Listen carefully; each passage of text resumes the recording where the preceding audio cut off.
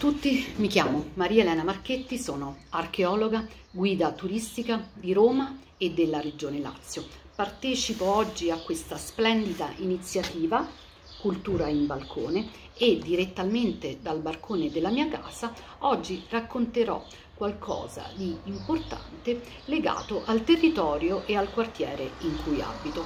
Mi trovo all'interno del quadrante orientale della città di Roma, sesto municipio.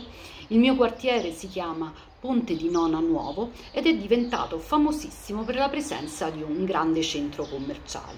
Pochi però sanno che ad appena 5 km di distanza si trova un importantissimo sito archeologico.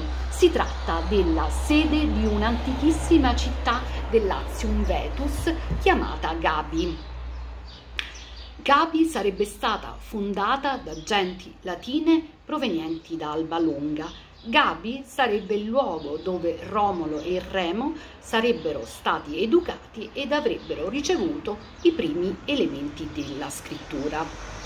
Il periodo di massimo splendore è datato in epoca arcaica, quando Gabi, insieme ad altri insediamenti dislocati nelle immediate vicinanze, si trova a controllare importanti direttrici viarie e di scambi commerciali che permettevano il passaggio di genti provenienti dall'Etruria e dirette in Campania e l'attraversamento della penisola italica dal versante adriatico a quello tirrenico.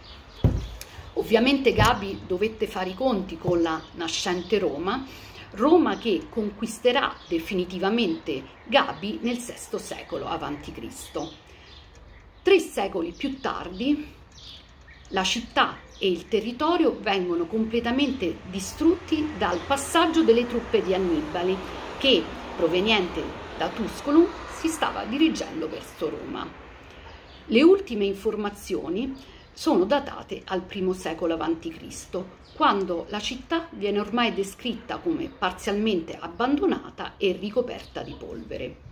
È possibile oggi visitare il sito archeologico dell'antica città di Gabi, sono stati identificati alcuni settori, come per esempio l'antica Acropoli, eh, dei tratti della via Prenestina che attraversa il settore abitativo, rimangono grandi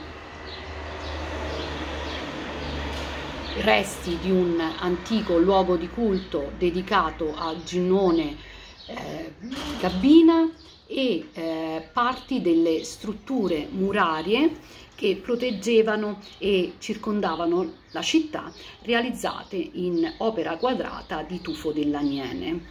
L'ultima più recente scoperta è quella che ha visto il rinvenimento di una casa arcaica. Si tratta di una scoperta eccezionale, un unico sul territorio italiano, in quanto l'alzato è conservato fino a circa due metri dal piano di calpestio. Probabilmente è la sede e l'abitazione in cui risiedevano i rex della città, forse legati da legami parentelari con i Tarquini della città di Roma.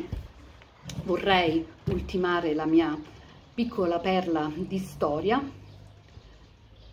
facendo qualche accenno alla necropoli del fosso dell'Osa rinvenuta dagli archeologi.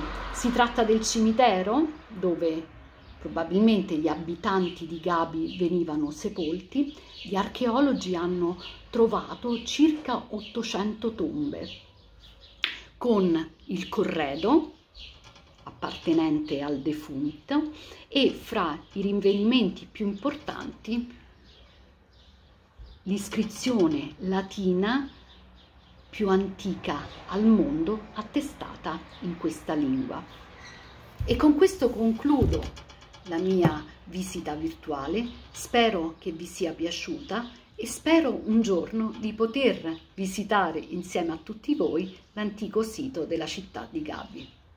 A presto!